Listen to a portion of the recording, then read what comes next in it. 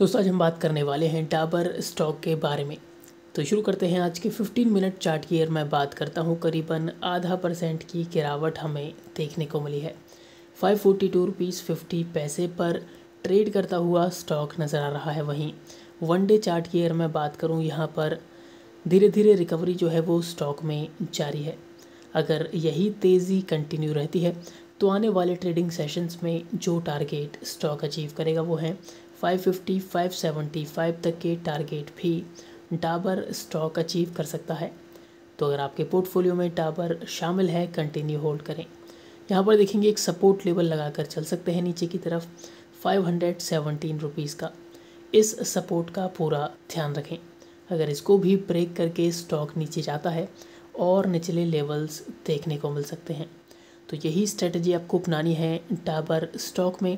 Video देखने के लिए आपका बहुत बहुत धन्यवाद।